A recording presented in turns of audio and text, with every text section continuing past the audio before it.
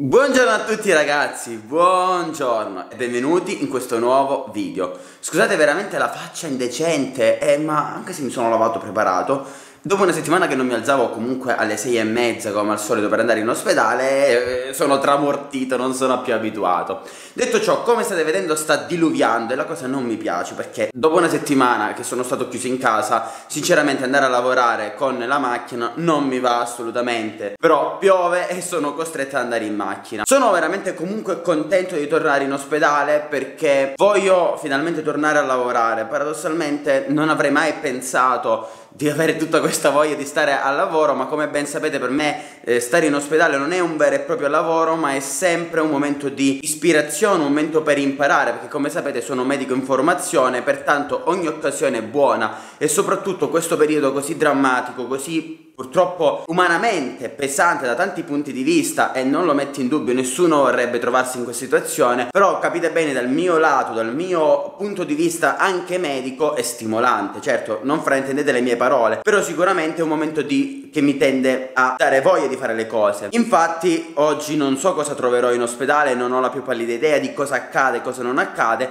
però sono sempre pronto a voler vedere nuove cose, a voler imparare e speriamo che c'è qualcosa di interessante. Certo è il reparto covid quindi speriamo di avere i presidi perché io con questa mascherina proprio non posso andare da nessuna parte. Detto ciò la mia integrazione del mattino. Un grammo di vitamina C un multivitaminico eccolo qua due capsule di ashwagandha e due capsule di fosse di lesserina e poi mi mangio come spuntino una di queste qua di bull powders le flab jeps che sono qualcosa di troppo buono. Levo la mia macchina da una vita ragazzi assurdo.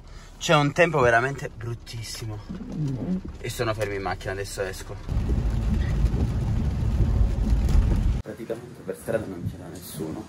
Mai visto cioè tragitto casa policlinico 5 minuti normalmente ce ne avevo quasi 20 perché c'è sempre traffico un po' vari vado un attimo e per strada non c'è nessuno. Piove ombrello e che dobbiamo fare? Andiamo vediamo la situazione sono un po' preoccupato perché vediamo tutti un po' così. Adesso vediamo com'è la situazione. Abbiamo dato una mascherina utilissima sicuramente contro il coronavirus, ma questo è l'unico presidio che noi abbiamo. Non c'è niente in Italia, niente, noi che stiamo guardando con i pazienti, questo coso qua, mamma mia. Ovviamente la cassa d'acqua sempre con me, cuffietta, cambio e si va al lavoro. Dunque tornati in reparto, tutto va a scatti, bellissimo, ora mi metto al lavoro, devo fare il giro. E non ho idea di chi ci sia adesso prima parte del giro completata. Adesso rispetto al solito quando normalmente facciamo il giro noi ovviamente abbiamo dovuto aggiungere tutti i dati tutte quelle domande che normalmente non faremmo per il sospetto coronavirus. Quindi se la persona, se la persona ha febbre se ha dolori se ha alterazioni del gusto dell'olfatto se ha dispnea. Quindi tutta questa sintomatologia correlata. Adesso valutiamo. Allora al momento io ho finito di fare le cose che dovevo fare di giro. Diciamo che abbiamo poche pazienti ostetriche proprio perché eh, so, la gente non vuole partorire in questo periodo, boh, chi lo sa. E, e, niente, perché forse anche perché c'è il fatto che è il reparto Covid e quindi evitiamo. Devo andare un attimo a vedere un po' di cose. E niente. Al momento casi sospetti non ne abbiamo, però di fuori si vedono i colleghi Covid. Vedete?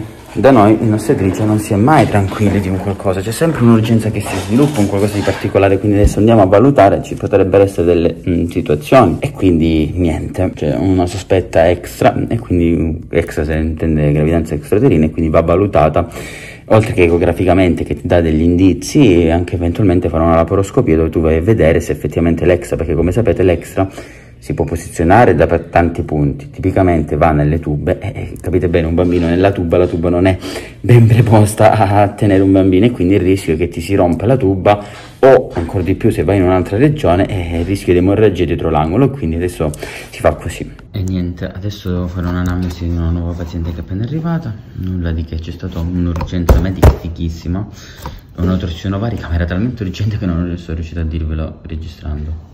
Allora, adesso sto andando sopra, devo vedere hanno quasi inizia la parto. E niente, al momento tutto tace. Il problema è che quando tutto tace è sempre brutto. Uff. No, non c'è lo specchio. Vabbè, ciao. E niente, al solito così succede, cioè non fai niente, come avevo detto prima, per un intero pomeriggio poi alle 19 e 10 c'è una con il tracciato non buono gemellare e ti deve lavare al cesario quindi mi sono cambiato cioè in realtà l'ho cambiato in realtà però vado a fare il terzo operatore vabbè mm, prendo profigo questo pomeriggio almeno no?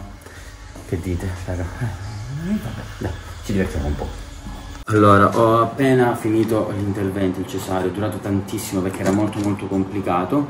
Ora sto facendo le richieste di esame istologico per la placenta proprio perché comunque erano 35 settimane gemellare con alterazioni dei flussi, varie cose di vario ordine, genere e natura e di conseguenza è importante appunto fare una richiesta di istologico per la placenta per vedere il perché di queste alterazioni, se c'è un qualcosa di importante quindi adesso valutiamo un attimo, poi vi spiego tutto nel dettaglio comunque. Eh, mi sono cambiato e adesso si va a si va a casa. Mamma mia che capelli da pazzo che mi ritrovo. Sono stanco. Eh sì, un intervento difficile. Eh. Tornato a casa dall'ospedale, sono tipo le 22.30, qualcosa. Scusate se sono un po' adirato, ma sono successe alcune cose su Instagram e mi sono un po' alterato, ma vabbè, mm, passa. Comunque per raccontarvi un po' quello che è successo che avete visto il DC d'urgenza poi ho spiegato poco in realtà mm. come sapete io avevo la guardia di reparto quindi stavo sostanzialmente le facendo le cose di reparto quindi non direttamente coinvolto in questa cosa. Però poi c'è stato praticamente mi ha chiamato una mia collega dicendomi ti vuoi lavare tu al cesario? Sapete che io non mi tiro mai indietro per lavarmi ad un cesario. Ed è stato ovviamente medicalmente parlando eh, molto interessante in quanto è stato un taglio cesario d'urgenza su una donna a pretermine gemellare eh, che aveva un CTG poco eh, rassicurante, si dice così in termine medico, ovvero cardiotocografia non, non bellissima, ecco, mettiamola così, quindi c'è stata indicazione, è stata posta indicazione a fare il taglio cesareo e ovviamente mi sono dato come terzo operatore, non è che io abbia fatto nulla di che, però sapete mi piace sempre vederlo anche perché poi sono sorte delle, non delle complicanze vere e proprie, però comunque sanguinavo un po' troppo e quindi è stato bello interessante vedere come il medico ha gestito, diciamo, oltre la gestione clinica della paziente, il perché si è arrivati a fare un taglio cesareo, perché mi sono andato a leggere tutta la cartella per capire i reali motivi, il come si è evoluta la clinica, perché questo è il bello, mm, tu studiare e analizzare i casi clinici che ti succedono, perché così è l'unico modo che tu puoi imparare quando poi diventerai uno strutturato a gestire le emergenze, cioè prendere determinate decisioni, perché, come, quando e perché, perché come capite un pretermine non è una decisione di sì faccio il cesareo come potrebbe essere a termine, ma ci vogliono delle determinate cose.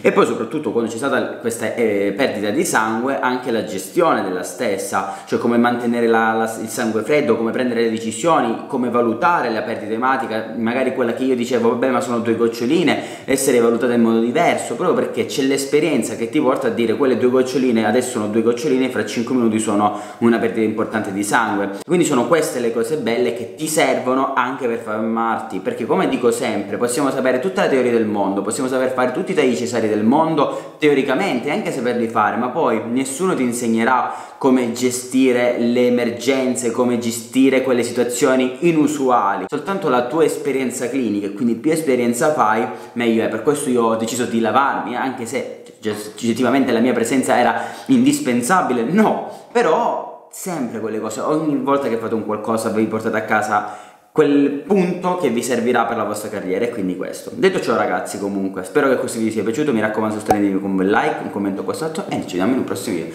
Ciao ragazzi!